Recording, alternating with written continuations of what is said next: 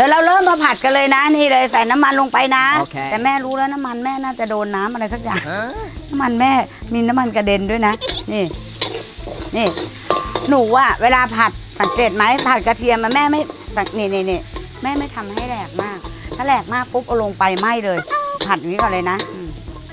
เตรียมผัดเลยนะ หนูจะใส่น้ำมันเยอะนะ เดี๋ยวน้ำมันหอยเอ่ยอะไรเอ่ยอีก มันก็จะทำให้มันเกินไปผัดบวบเนี่ยอย่าผัดให้มัน ผัดมันแล้วมันเลี่ยน เหลืองขนาดนี้ เหลืองแค่นี้พอ หมูสับใส่ลงไปเลยจ้า อย่าเพิ่งเติมน้ำตอนนี้ ห้ามเติมน้ำซุปตอนที่ผัดหมูนี่นะ หนูสังเกตดูนะ นี่ จากนั้น หนูเติมน้ำปลาลงไป เติมน้ำปลาไปอย่างเดียวนะ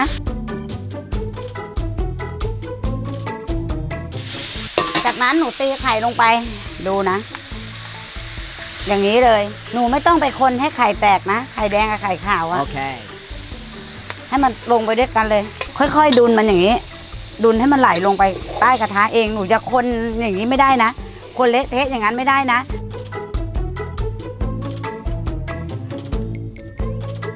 ก็ขยับมันไปทางนู้นขยับไปทางนู้นนะ เราค่อยใส่บวบลงไป ตักอากี้เนี้ยขึ้นมาข้างบนนี้อย่าให้มันอยู่ข้างล่างนะ จากนั้นหนูทำตะล่อมตะล่อมมันอย่างนี้ แล้วหนูก็ปิดฝา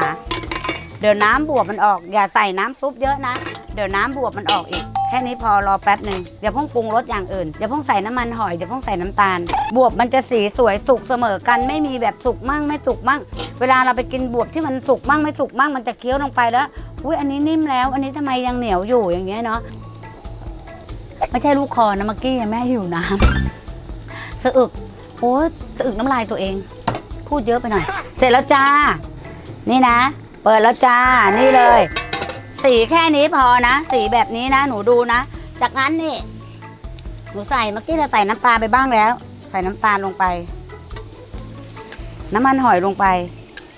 ใส่ตอนนี้นะอย่าไปใส่ก่อนละ Okay.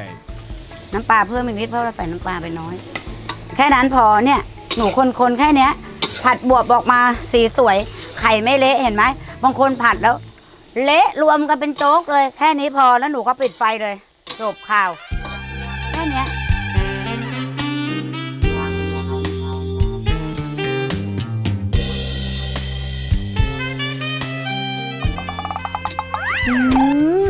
ผัดกับกุ้งก็อร่อย ผัดกับหมูก็หอมไปอีก